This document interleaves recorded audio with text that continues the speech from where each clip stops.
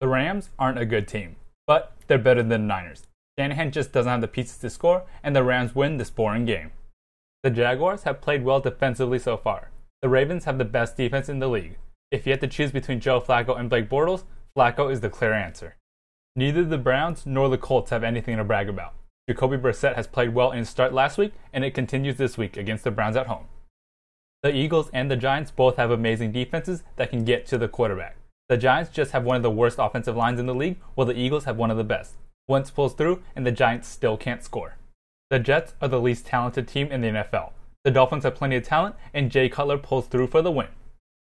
The Broncos are a top team and shut down the dangerous Ezekiel Elliott last week. That trend continues as they take down the Bills and LeSean McCoy. There's only so much Drew Brees can do.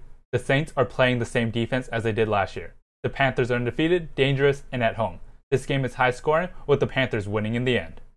If I had to choose an upset, this might be the game. I don't like the Steelers away from home, but the Bears just aren't talented. They lack weapons, and Big Ben does enough to pull out the W. The Battle of the Undefeateds. The Lions have Matthew Stafford, so they stand a chance to win at home. In the end, the Falcons are just too high powered on offense.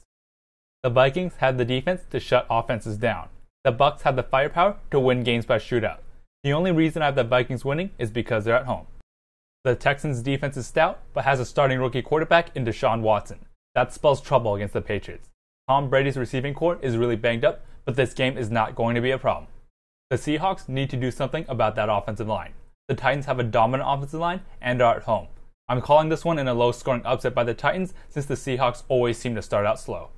Andy Dalton looks awful at quarterback. Green Bay has a bad defense. The difference is Aaron Rodgers is the quarterback. Rodgers would work his magic and put up way too many points for the Bengals to keep up.